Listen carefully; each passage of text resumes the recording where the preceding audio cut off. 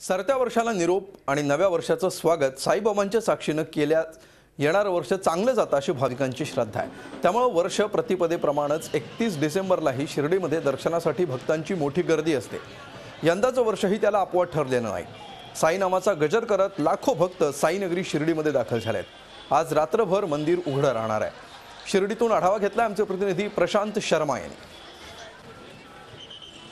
सरत्या वर्षाला निरोप देण्यासाठी आणि नवीन वर्षाचं स्वागत करण्यासाठी आज लाखो भक्त शिर्डीत आलेले आहेत. लाखो भक्त साईबाबांचं दर्शन घेऊन साईबाबांना स्मरून आजची रात्र आणि उद्याचा दिवस शिर्डीतच नवीन वर्षात साजरं करणार आहेत. अनेक लोक हॉटेलला जाणं पसंत करतात. मात्र लाखो भक्त असे आहेत की जे साईबाबाच्या शिर्डीत येऊन आपलं नवीन वर्ष साजरं करतात. आपल्याबरोबर काही भक्त आहेत. आपण जाणून घेऊन या त्यांच्या भावना. सर आपली काय आम्ही देवळातच रात्रभर राहत असतो आणि देऊळ रात्रभर चालू असतं. नवीन जुनं वर्ष ज्या ज्याप्रमाणे गेलं त्याचप्रमाणे आमची हे असतं की नवीन वर्षही बाबांनी आम्हाला त्याचप्रमाणे घालवावं हीच आमची अपेक्षा असते.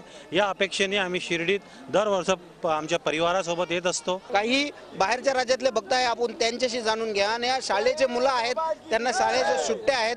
ते शिर्डीत आलेले आहेत आप कहाँ से आई हो? मैं इंदौर से आई हूँ।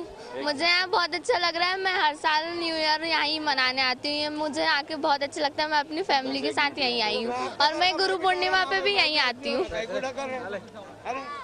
आपण बघू शकतो की अनेक भक्त या ठिकाणी बाबांचा आशीर्वाद घेतील. आज रात्रभर मंदिर उघडं राहणार आहे.